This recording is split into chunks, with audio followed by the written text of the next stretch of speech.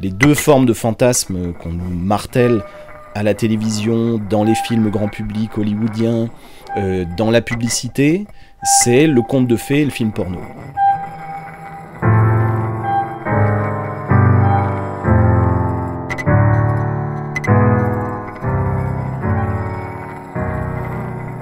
Vous savez ce que je viens faire ici? Ah oui Vous venez vivre vos fantasmes, comme les autres. Exact. Alors pourquoi? Mais vous avez déposé votre courrier dans la boîte? Oh, j'ai oublié. C'est le règlement. Mhm.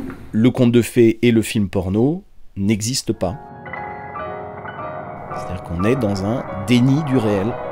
Et le désir est au milieu, et il est perdu entre deux fantasmes totalement hors réalité.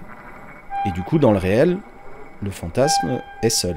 Le désir est seul, parce qu'il est complètement euh, bloqué par le fantasme.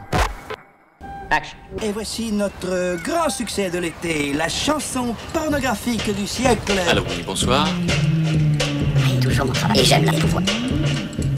L'argent. Et le pouvoir.